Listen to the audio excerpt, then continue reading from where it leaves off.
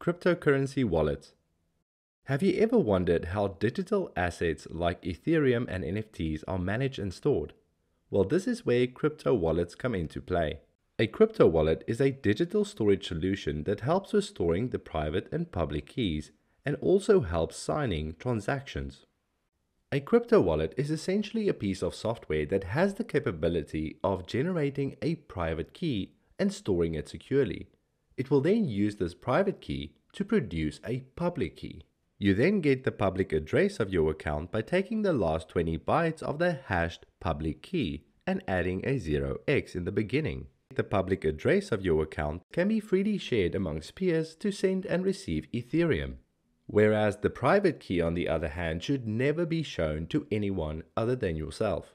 You should keep it in a secure place and usually a wallet has a secure mechanism of storing it behind a password. It is a good idea to not leave it only up to the wallet to store your private key, but instead to also make a copy of that and store it in a secure place. The reason is wallets use the private key to sign transactions sent to the blockchain for the blockchain to validate that this is the actual user and perform whatever task it needs to, whether it's transferring cryptocurrencies or interacting with contracts. So you see, if you don't have your private key, you will not be able to sign transactions, sending funds around and interacting with the blockchain, especially on that account. That means that the cryptocurrency in that account is no longer accessible by you.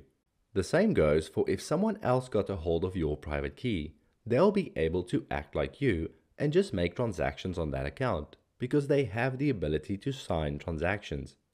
So, a private key is extremely important, so never share it with anyone else and keep it in a safe place.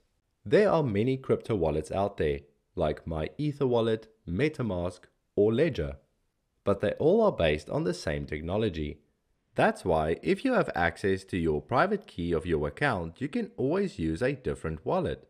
For example, you can have your My Ether wallet and you have the private key. If you want to open your MetaMask wallet, and just simply import it, you can do so by just putting in your private key into the MetaMask wallet. MetaMask will then take your private key and generate a public key. And this public key will be exactly the same one that was on your MyEther wallet because you used the same private key. Now, as you can see, this means that your wallet is essentially living on MetaMask and MyEther. But the funds don't live on one of these products the funds are associated with the public and private keys, and not the brand of wallet that you have chosen. Most wallets will also generate a seed phrase when you create a new wallet.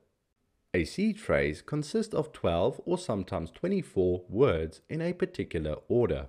The seed phrase is just as important as your private key and should be kept securely. Make a copy of it and keep it safe away from the public's eyes because with a seed phrase, you can also restore a wallet, and a seed phrase can be used to generate that private key.